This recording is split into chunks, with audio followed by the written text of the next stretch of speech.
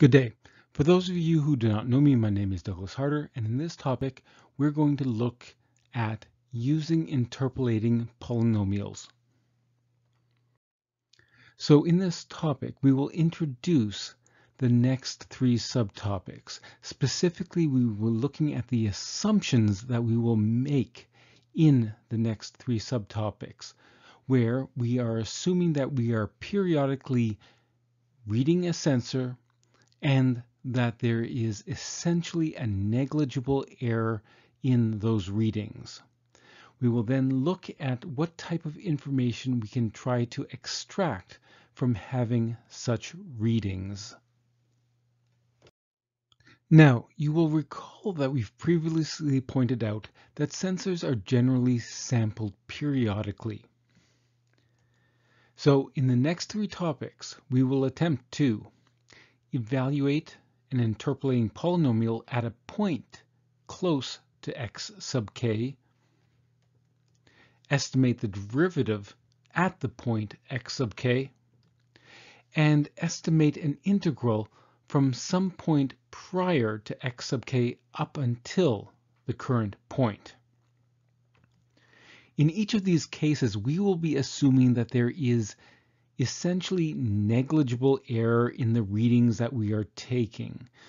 That is, the values are reasonably exact, and so therefore we will be able to use, for example, Taylor's series to find such approximations and determine any errors.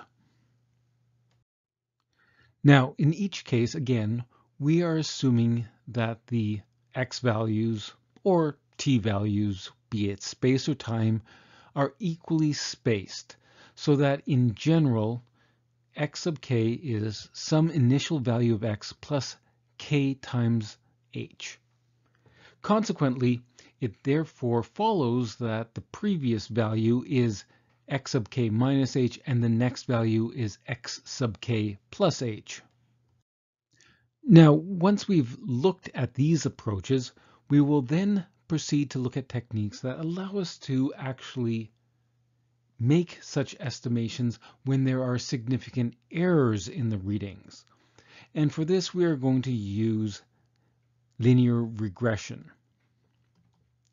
Now, these errors may be caused by numerous things, environmental factors, or perhaps limitations on the sensors that are making the readings.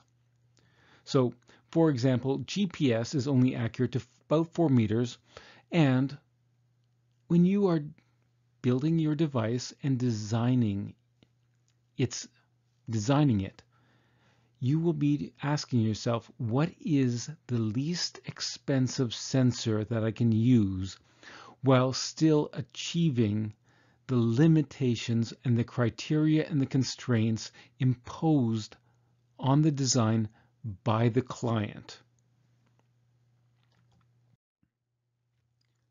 So following this topic, you now understand that in the next three subtopics, we will be using interpolating polynomials to evaluate the function at a point, estimate a derivative, and estimate the value of an integral.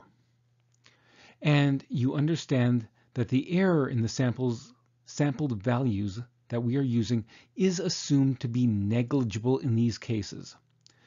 Also, in the next topic that follows, we will then look when we can no longer assume that the errors are indeed negligible. Here are the references, acknowledgements, the colophon, and a disclaimer. Cheers!